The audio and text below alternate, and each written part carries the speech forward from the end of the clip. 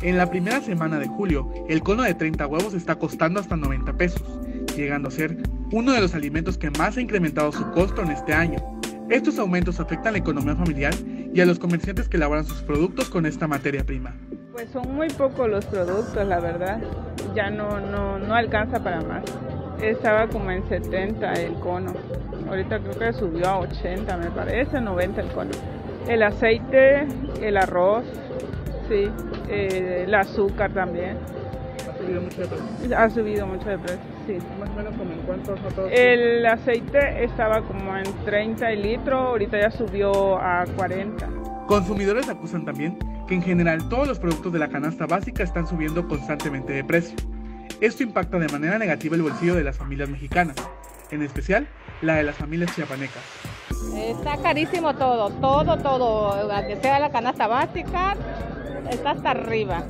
Por, por ejemplo, el aceite está en 50 pesos, cuando lo agarramos en qué, en 42, 38. Pues tenemos que este, ya mermar menos o poner más un poquito más de verdura que en esto, que la verdura igual está, está hasta arriba y ya este, tratar de, de, no gastar más.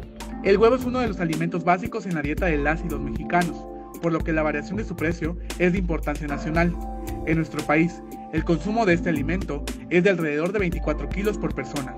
Eh, sí, este, sí nos ha afectado los precios elevados de algunos productos. Por ejemplo, que es el huevo, el azúcar, la leche, todo lo que ocupamos aquí. Sí, la verdad se ha aumentado bastante y nosotros por los precios no le podemos cambiar porque ya tenemos clientela. Y pues tenemos que acoplarnos a los precios que nos manejan. Anteriormente los conseguía yo en 70 a 75 pesos, ahorita están en 90, un cono. La diaria demanda y una baja en la producción a principios de este año son los factores que provocaron un aumento en los precios del huevo. Las y los comerciantes que preparan alimentos también han resentido estos constantes aumentos. Pues bueno, aquí en el negocio ha afectado bastante porque pues si suben las cosas también tenemos que subirle de precio pues a los productos que vendemos y pues mucha gente ya no quiere consumir lo que vendemos.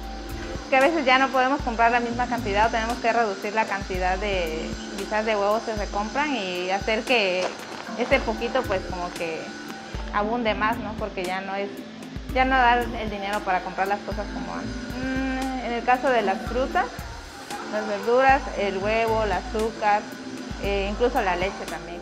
Para Alerta Chiapas, Eric Sendomita.